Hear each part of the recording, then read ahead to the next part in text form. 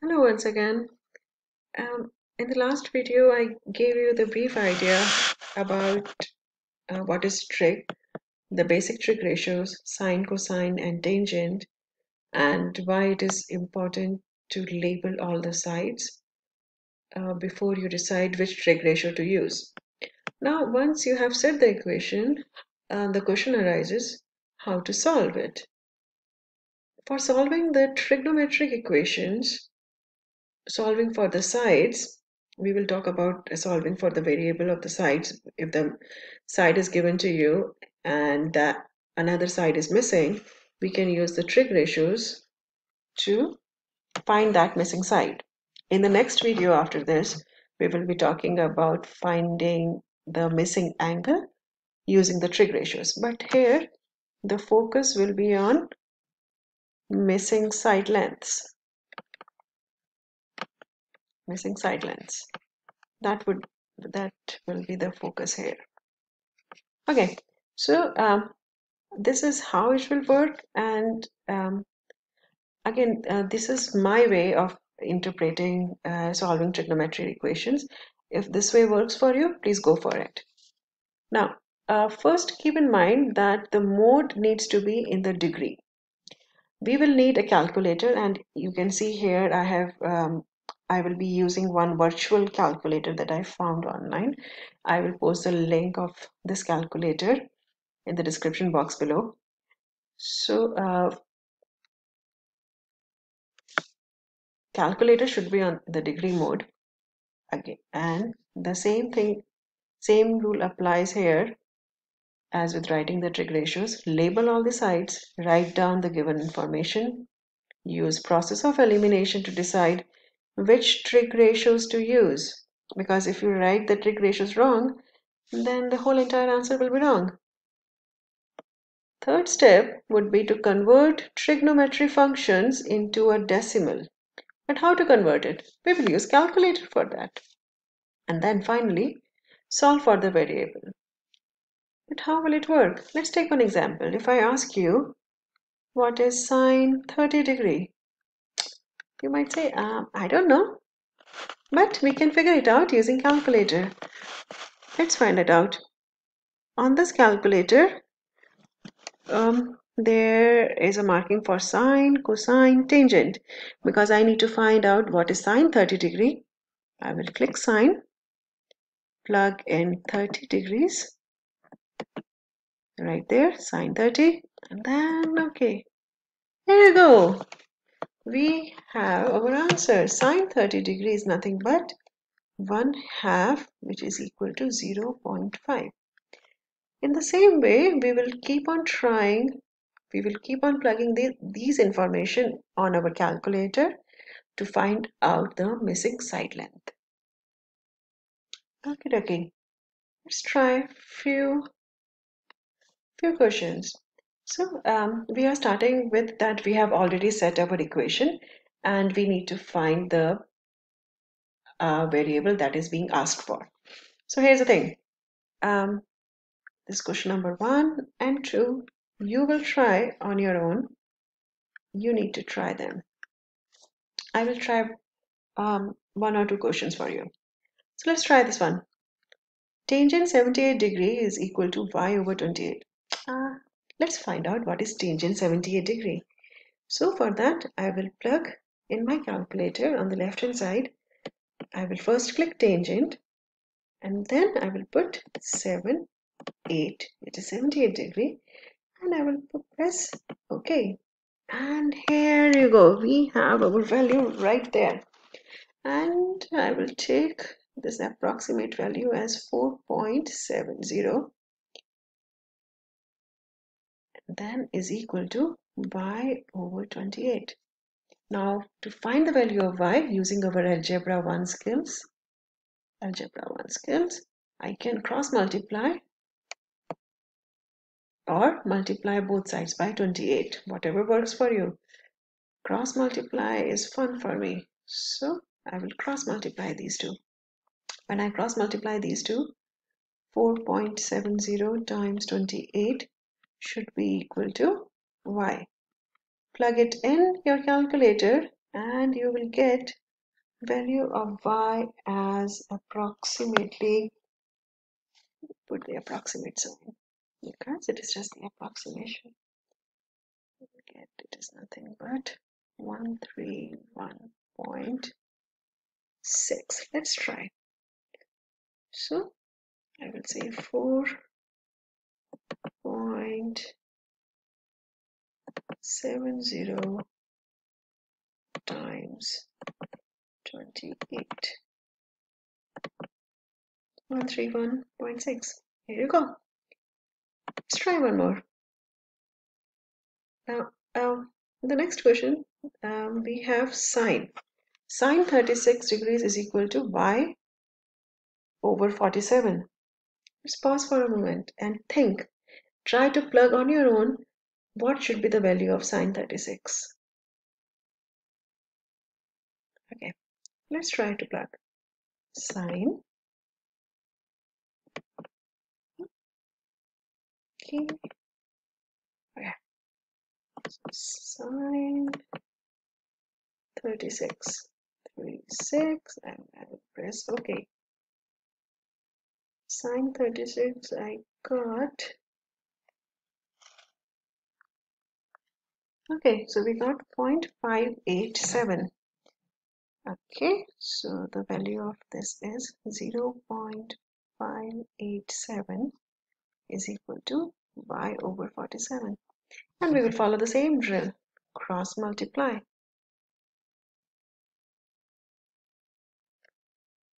Right? If I cross multiply I will get my approximate answer as 27.6 that is what we are looking for. I solved two questions for you. Try these two questions on your own. Okay let's go and solve for a few more questions related to variables. Okay. You need to try question number three and four. Try them but you will be and it would be fun. First label what angle is given to you which is the opposite side. Which trig ratio should I use? Sine cosine or tangent? Use mnemonic. SOHCAHTOA process of elimination and then try them. Okay. So let's try these two questions together first thing first I will label it 61 degrees right here. So the opposite to 90 degree this is hypotenuse. If I put my hand on 61 the other side that my hand will touch the another side length it is adjacent. And the opposite to 61 degrees would be the opposite side. Okay?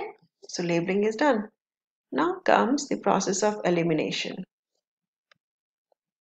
Um in this case hypotenuse is missing. So because hypotenuse is missing I can't use sine I can't use cosine. What is left? Only tangent. So tan and the degree is 61 degrees.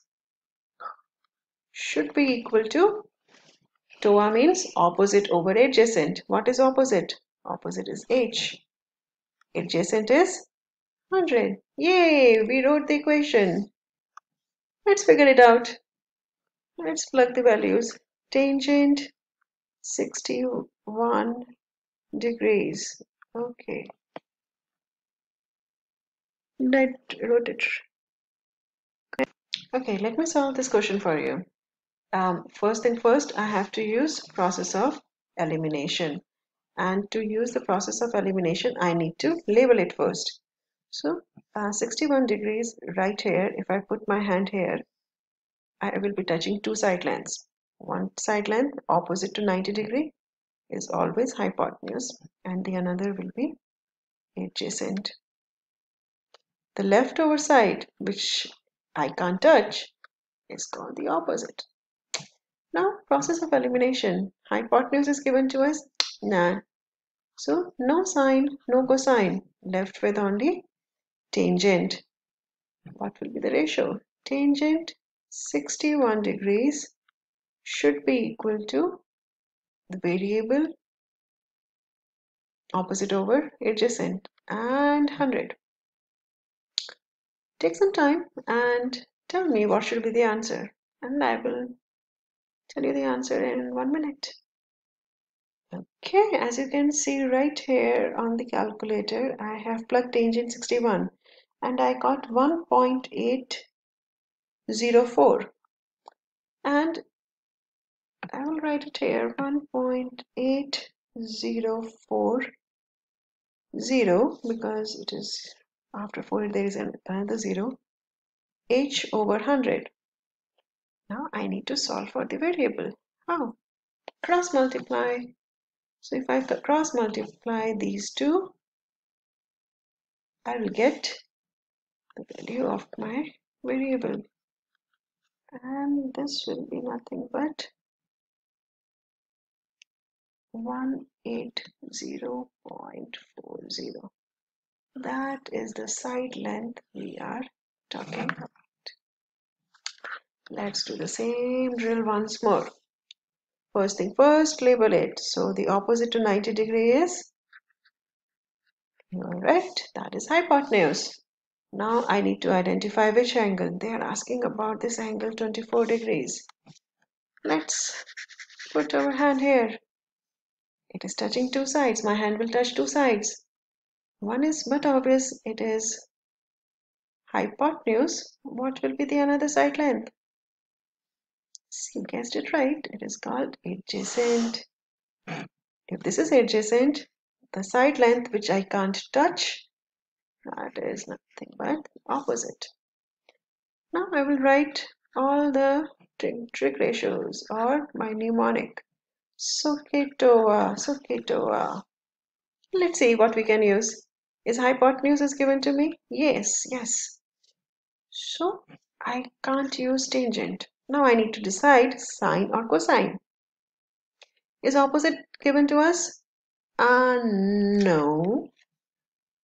So I can eliminate sine. What is left? Cosine. Let's write the equation. Cosine means adjacent over hypotenuse and these trig ratios they define the degrees.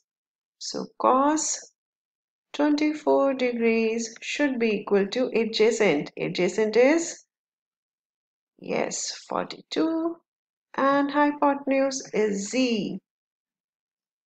Now be careful. They have given you the variable in the denominator.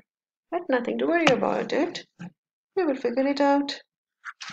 Let's start with finding out what is cos 24 degrees. So I will enter cos then 24 degrees and I am working on left hand side on the calculator. Press OK and I got 8.913 8.913 let me check it again if it is 8.913 I think it is 0 0.913 let me check yes my doubt was right because it cannot be that much so it was 0 0.913 and 42 over z now, what should I do? z is in the denominator. I will multiply these two together. So it will be 0 0.913z is equal to 42. Now I need to isolate the variable. To isolate the variable, what is the drill?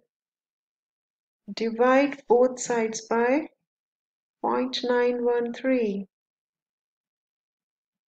If you do that, you will get your answer as approximately 45.97. This is what we are looking for. I hope it makes sense and please